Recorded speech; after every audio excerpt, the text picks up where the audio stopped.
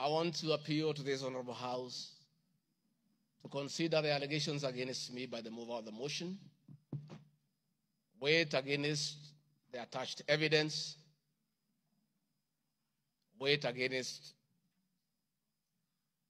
my defense, and the attachments and the videos that I've played in this house.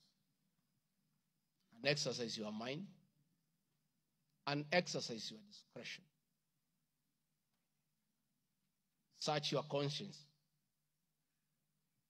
and decide if Rigathi Gachagua is guilty of any of those allegations or is undergoing a political process.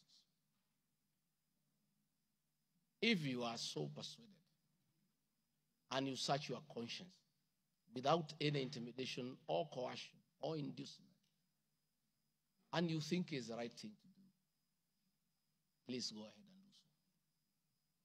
If you search your conscience and listen to the issues that have been adduced here, and you find that there are no grounds to impeach the Deputy President of the Republic of Kenya, please make the right decision.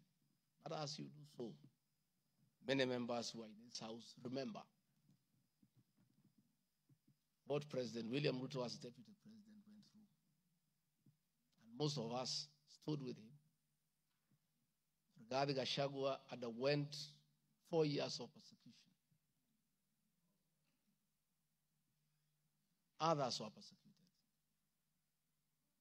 But we took a firm stand because we believed we were doing the right thing.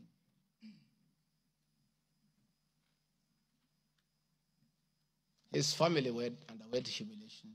His friends underwent humiliation. He was a haunted man. And on Inauguration Day, he pronounced himself that freedom is here.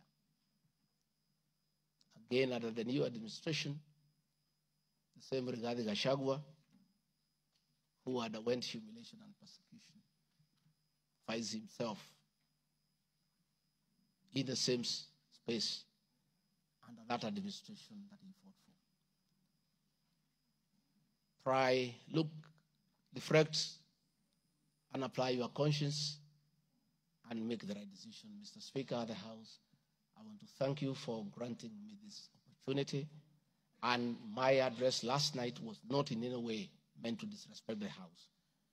Despite, Mr. Speaker, you having ruled that the matter should not be taken out of the House, it was being discussed in every TV station, in every meeting across Kenya. And Kenyans did not have a chance to also hear my side of the story. So I decided, since the accusations against me were everywhere in the country, the people of Kenya, and more so those who voted for me and President William Ruto, deserved also to hear my side of the story. I have tremendous respect for the National Assembly and your ability and capacity to make the right decision. Mr. Speaker, I want to thank you. Asanteni sana. Thank you very much, uh, Deputy President.